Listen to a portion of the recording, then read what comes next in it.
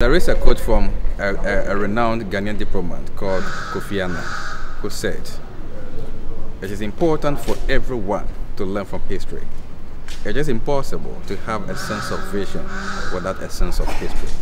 If history is learned, then it doesn't have to repeat itself today.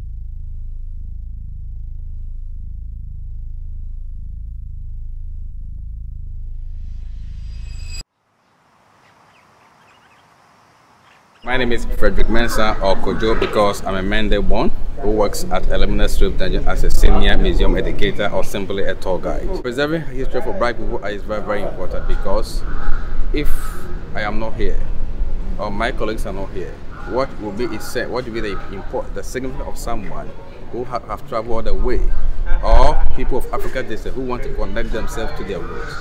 They need a true narration of what really happened here because they know the other side, which what happened. But the other side of Africa, they don't know.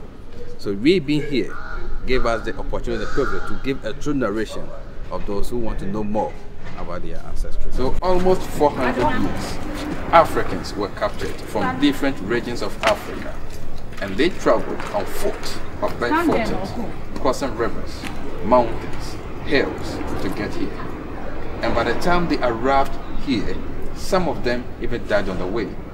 Some of them became too exhausted or weak, and some of them were suffering from footsore or wounds. So me being here gave me that opportunity to share and to educate people so that in their next endeavors, individually, they will do everything possible to make sure that such atrocities, such a humanity will never again be encouraged to allow to happen. Thank you.